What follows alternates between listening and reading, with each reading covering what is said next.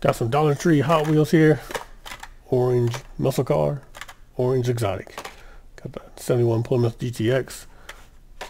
Got the Lambo Sián FKP 37.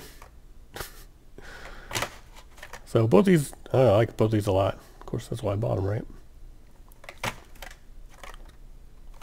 And then we're gonna open them up. Let's go with the muscle car first. All right. Again, these are a Dollar Tree right now. On them pretty recently. Shouldn't say right now because I don't want to post this. it could be a couple days and it'll all be gone. So this bright orange looks good. Got that black stripe on the side. Cool wheels, cool rims. Got the chrome in front. Looks looks really good. Chrome in the back.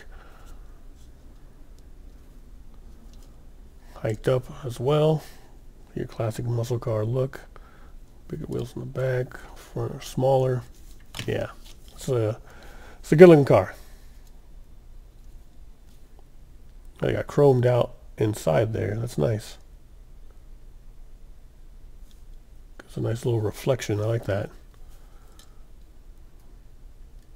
I'm not sure if it had chrome seats. Probably not. but it looks cool. And that's what matters besides winning. You know, winning matters first.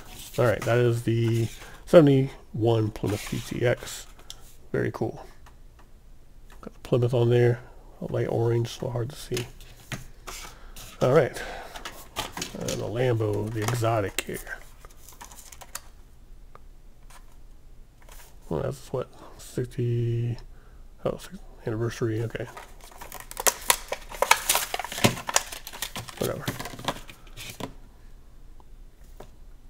Number one out of ten.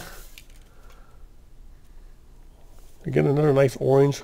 It's flatter than the uh, that Plymouth. It's more of a. It's not quite a flat orange. It's just darker, so it doesn't doesn't pop quite as much. Oh, I guess it's more like the burnt orange. So those look good though, because what Lamborghini doesn't look good. Lambos from uh, many, many years always look cool. Almost like I have a, like a spaceship kind of look to them. So, it's always my, probably my favorite exotic as a kid was the Lamborghini series, more than Ferrari.